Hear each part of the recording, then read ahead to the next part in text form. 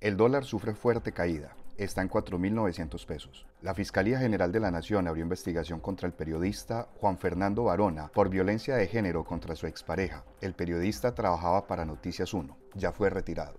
El embajador colombiano en Venezuela, Armando Benedetti, pidió disculpas por sus fuertes declaraciones sobre Juan Guaidó. Dijo, de pronto no es una mala forma de expresarme, yo me refería al peso político.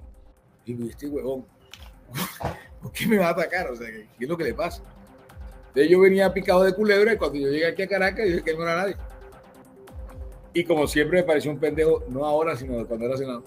Mientras se habla de la ampliación del aeropuerto de Río Negro, los controladores aéreos denuncian que trabajan con equipos obsoletos y sin herramientas básicas para desempeñar su labor. El alcalde de Manizales firmó convenio con un micropaís llamado Liberland, en el que 5.000 manizaleños podrán aprender inglés gratis. El hecho ha causado polémica en la ciudad, ya que dicho país solo mide 7 kilómetros, no tiene habitantes, no es reconocido internacionalmente y no tiene relaciones con Colombia. Su representante aseguró que hizo parte del ejército de Estados Unidos y que participó en la guerra de Vietnam, pero solo tiene alrededor de 40 años. Es, es increíble. En nuestra nación de Liberland somos felices para ir acá en Manizales y 5 mil personas. Es verdad. Y gracias, alcalde, para, para todo, de verdad. No, a ti porque la verdad es que nos place este convenio.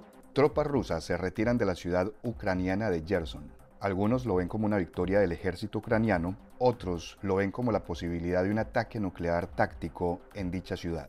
Claudia López, alcaldesa de Bogotá, destacó que la construcción de la primera línea del metro alcanzó el 17% de ejecución. El metro va porque va y tiene que salir adelante. Si te gusta este resumen de noticias, dale clic al botón de suscribirse. Muchas gracias por tu apoyo.